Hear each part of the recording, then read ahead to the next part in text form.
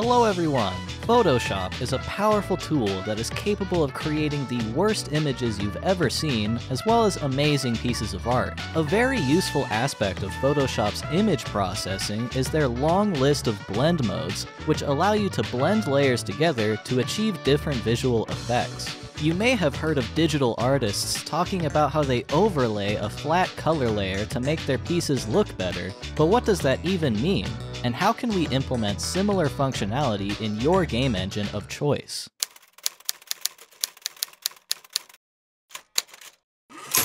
Every blend mode formula takes in two images as input, A and B. A is the bottom layer and B is the top layer. B will be blended into A. For all demonstrations, both A and B will be the same image, such that the game render blends with itself. Blend mode effects are divided into three categories, darken, lighten, and contrast. Blend modes in the darken category will darken the image. Blend modes in the lighten category will lighten the image. And lastly, blend modes in the contrast category will increase the contrast of the image. Pretty complicated, I know, but let's start with blend modes that darken. The simplest darken blend mode is subtraction. We will subtract B from A such that the colors decrease in value. Since in this case, A and B are the same image, a complete subtraction blend will result in a black image. The next darken blend mode looks a bit nicer. If we multiply A and B, then darker colors will be affected more than brighter colors, making shadows more prominent. You might be asking yourself, Acerola, shouldn't multiplication make the colors brighter? Generally, yes, but remember that in the realm of computer graphics, color values are normalized to 0 to 1, instead of 0 to 255 like you might be used to in programs like Photoshop. When you multiply values between 0 and 1 with each other, the result is a decrease in value, as seen here with a simple x squared graph. For the more experienced graphics programmers, this means that you should only be using these blend mode formulas in low dynamic range, otherwise your multiply will have dire consequences. The last darken blend mode I will bother talking about is color burn. First, we invert the bottom layer and then divide it by the top layer, then we invert the quotient. The result is an incredibly harsh curve that makes any mildly darker color become black.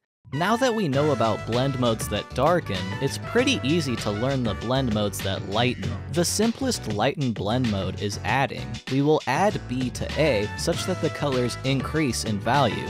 The next lighten blend mode looks a bit nicer. If we invert A and B, multiply them, and then invert the product, we produce an inverted exponential curve which will bring brighter colors up while leaving darker colors mostly alone. This blend mode is called Screen.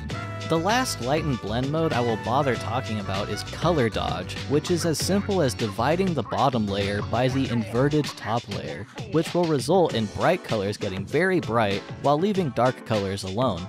If you haven't noticed by now, the lighten blend modes are an inversion of the darken blend modes, but what about the contrast blend modes? If multiply blend affects mainly dark colors, and screen blend affects mainly light colors, then we could compute the luminance of the base layer, and if the luminance is greater than 50%, we apply a screen blend, otherwise we multiply. But if we visualize this on Desmos, we see that it doesn't quite match up slope-wise, so we need to multiply our calculations by 2 so that the equations meet in the middle. This gives us the formula behind the critically acclaimed overlay blend mode that digital artists use and abuse, but what about the other contrast blend modes? Soft light is a slight modification of overlay that uses a softer curve which doesn't brighten colors as much, Here's the math on screen because I don't want to say it out loud, but an important thing to note is that it uses the luminance of the top layer instead of the base layer. The last contrast blend mode is like soft light, but we are going to color burn dark colors and color dodge brighter colors,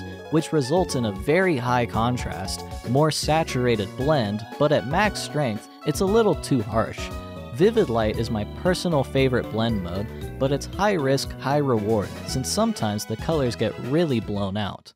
Congratulations! You are now an expert on Photoshop blend mode formulas. It's important to note that these are approximations since Adobe hasn't made these formulas public, but it's pretty close. So far I've only shown you examples in which the render is blended with itself, but we can very easily blend with a solid color. Take for instance this random shade of blue. If we blend it with our grass using vivid light, then the contrast goes buck wild while also making everything a bit colder because of the blue blend. We can also blend any image we want with the render. Maybe we want to give a slight texture to everything with this canvas texture. If we overlay it, then we can see the canvas texture blend with everything. It doesn't look very good, but we can do it. We could also overlay this picture of a pufferfish. The possibilities are endless, really. Anyways, I've been hard at work on a new project for you guys, so here's a sneaky peeky.